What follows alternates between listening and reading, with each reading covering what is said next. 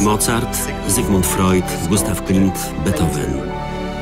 Miasto przeżywało złoty wiek. Wiedeń stał się najważniejszym miastem w Europie.